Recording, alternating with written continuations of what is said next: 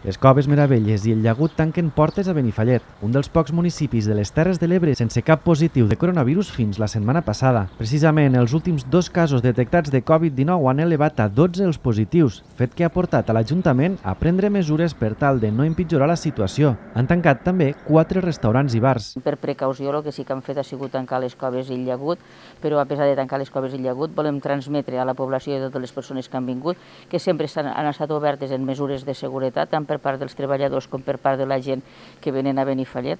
S'han mantingut les distàncies de seguretat, s'ha portat sempre en tot moment mascareta, s'han fet les desinfeccions que corresponen.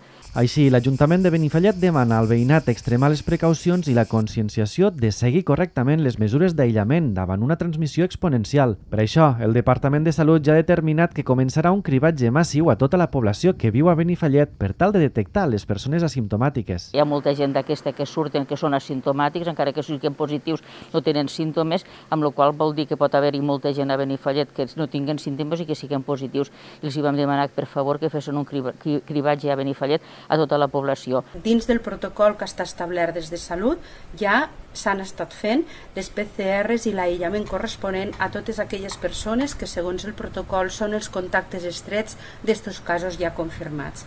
Com he dit, durant tot aquest cap de setmana hem estat des d'una comissió que hi ha on hi participa Salut Pública i també el Servei Català de la Salut per poder determinar quina era l'acció. A més, l'Ajuntament de Benifallet continua reclamant que el centre d'atenció primària obre més temps, a poder ser els 5 dies de la setmana. Si tenim que tindre els mateixos deures que tota la població, que tots els altres veïns de totes les Terres de l'Ebre també tenim que tindre els mateixos drets. I aquests drets és tindre el consultori local obert. Per quin motiu?